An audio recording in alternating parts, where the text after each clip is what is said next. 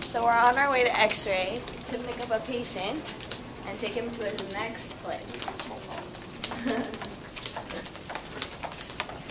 So what have you guys been doing the whole day, the whole morning? This is what we have been doing the whole day, transporting people from place to place, getting them where Just people who are in wheelchairs, they can't walk themselves. Be. Yeah, the last guy I delivered, he had a spinal thing where they couldn't operate on him, so he just didn't couldn't walk anywhere. And I've just been moving wheelchairs from upstairs to downstairs after the presentation.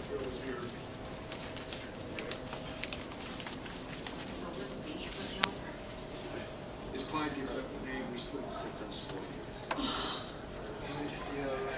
You guys gonna be radiologists? My name's Mr. Gary. Oh, yeah, the fire truck. That's right. In the road.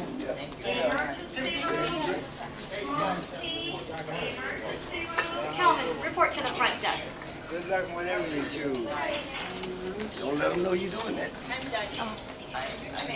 Amanda.